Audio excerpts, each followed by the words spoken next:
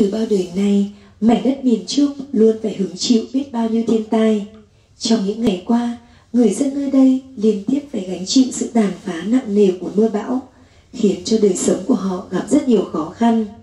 Đồng hành cùng miền Trung trong trận lũ lịch sử, với tinh thần tương thân tương ái, thầy trò liên đội trường trung học cơ sở với Văn Đàn đã phát động chương trình kêu gọi hỗ trợ hướng về miền Trung ruột thịt.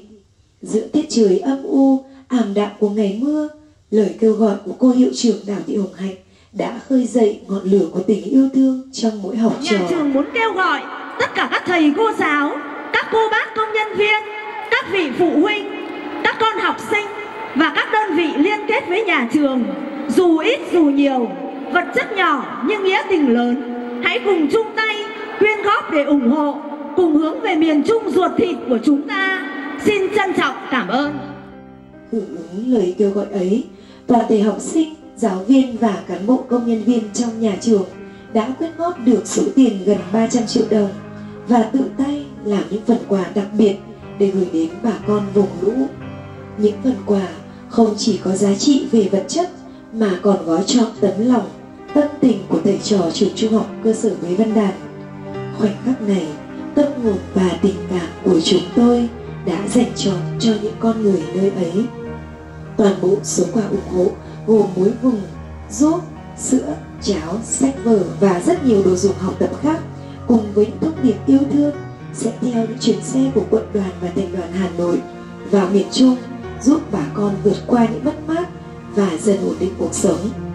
Giữa vùng rốn lũ, đẹp xúc động nhất vẫn là hình ảnh những đoàn xe nối đuôi nhau hoàn mình trong bão rông về với miền Trung ruột thịt. Chuyến xe mang yêu thương của Trung học cơ sở Bế Văn Đàn đã đến các xã Hướng Phùng, Hướng Lập, Hướng Việt của huyện Hướng Hóa, tỉnh Quảng Trị, tặng quà cho 22 gia đình liệt sĩ, các hộ gia đình và 1.100 em học sinh. Có thể nói, tình cảm của cả nước hướng về miền Trung đang dựa vào trái tim của người dân vùng lũ. Lan tỏa yêu thương mãi là bức thông điệp mà cô hiệu trưởng Đào Thị hành luôn muốn gửi tới các em học sinh. Chính tình yêu thương, sự sẻ chia với đồng bào trong gian khó đã gieo mầm hạnh phúc trong trái tim các em. Và chúng tôi tin rằng với sự chung tay góp sức của cả nước, nắng ấm sẽ sớm trở lại nơi này.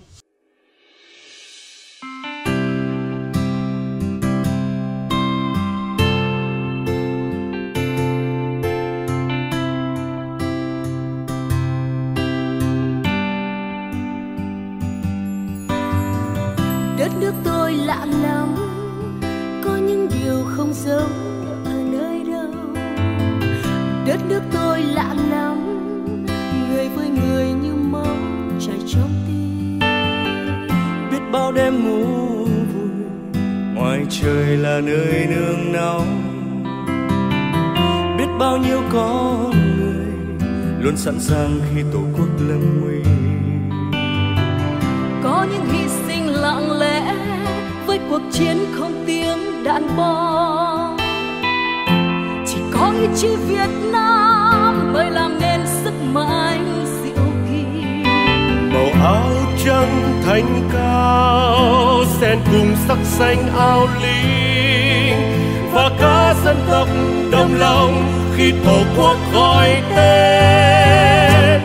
Việt Nam quê hương tôi tình yêu lên hai tiếng đồng bào. Trong nguyên đàn ta hãy yêu thương sẻ chia với bao niềm tin. Một tinh thần việt nam, khi đoàn kết trong tay là sức mạnh. Ta quyết tâm tin tưởng chiến thắng đại dịch, để cho ngày mai lại sáng tươi. Và nụ cười nữa